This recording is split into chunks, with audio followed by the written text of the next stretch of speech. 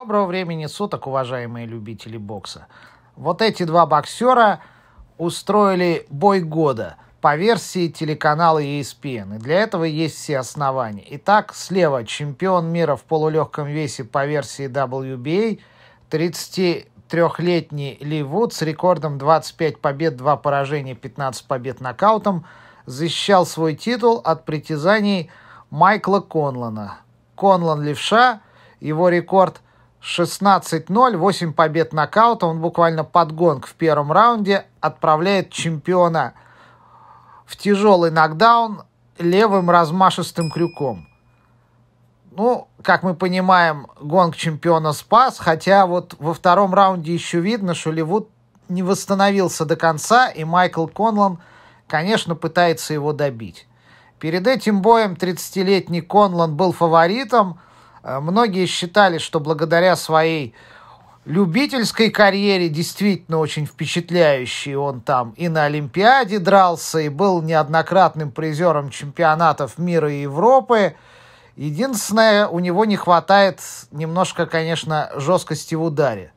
Но, собственно говоря, и чемпион тоже, в общем, не панчер, прямо скажем. Ну, несмотря на это, Ливуд выходит второй раз подряд андердогом – он, когда завоевал этот титул в предыдущем бою у китайца Ксюкана, он тоже выходил как андердог, но смог титул завоевать. Майкл Конлан – это боксер компании Top Rank, и компания Top Rank, естественно, подбирает своим бойцам лучшие варианты. Конлан для этого дрался на категорию ниже, но Бопарум решил, что здесь очень хорошие шансы для его подопечного завоевать титул, и поэтому был организован вот бой с Ливудом. Ливуд постепенно восстанавливается от пропущенных ударов, но, несмотря на это, Майкл Конлан ведет этот бой.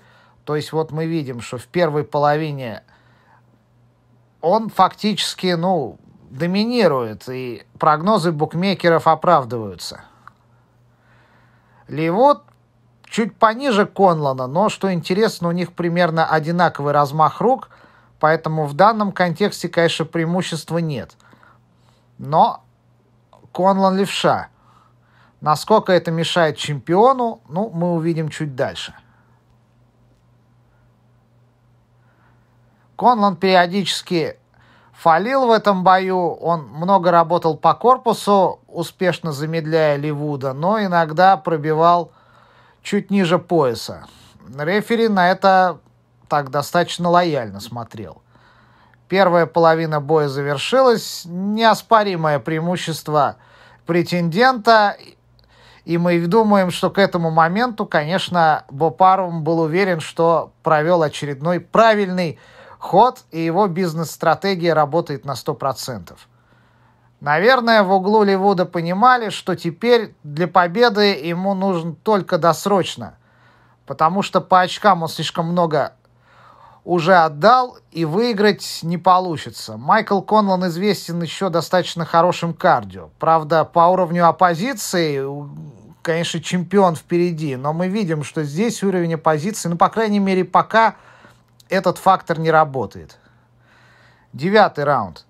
Ливут уже пришел в себя, и теперь уже он начинает прессинг прекрасно понимая, что если он хочет сохранить титул, ему нужно провести максимум, выложиться на 110%, как это говорят. А Майкл Конланд постепенно начинает уставать. Очень хороший был размен вот в десятом раунде, посмотрите, какие удары доносят друг на друга. Но, как мы понимаем, еще раз повторюсь, что ни тот, ни другой не обладает таким действительно разовым нокаутирующим ударом, и у того, и у другого – Досрочные победы чаще всего это совокупный тоннаж попаданий. Очень хорошо действует сейчас Ливуд. Смотрите, приходится Конлану защищаться корпусом, клинчевать. И сейчас вот рефери явно остановил бой немножко в пользу Майкла Конлана, чтобы дать ему перевести дух. Одиннадцатый раунд у нас. Картина не меняется, чемпион продолжает прессинг, а Майкл Конлан больше действует, конечно, в защите. И даже когда он проводит какие-то атакующие действия, уже видно, что взрыва и мощи в его ударах нет. Все больше и больше Майкл Конланд пропускает ударов, но, несмотря на это, он сохраняет тот самый вот задел в судейских записках.